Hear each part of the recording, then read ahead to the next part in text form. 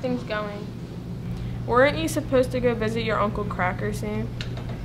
Yeah, I gotta find a way to make some money. I could probably talk to my friend if you need a loan. Could you please? I'll pay him back as soon as I can. Yeah, I could ask, but they're kind of stingy with their money. You might have to pay him extra when you get it because he's gonna make profit. Are you serious? I can't just borrow it and give it back to him when I have money? Jordan, do you want to go see Uncle Cracker or not? Yeah, I guess you're right. I'll give him whatever. Okay, I'll talk to him. Here, you have it. Yeah, take it and leave. Thank you. I owe you. Yeah, you do.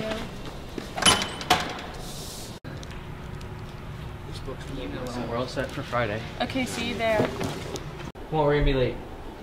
Alright, I'm coming. Here we are, Uncle Cracker's house.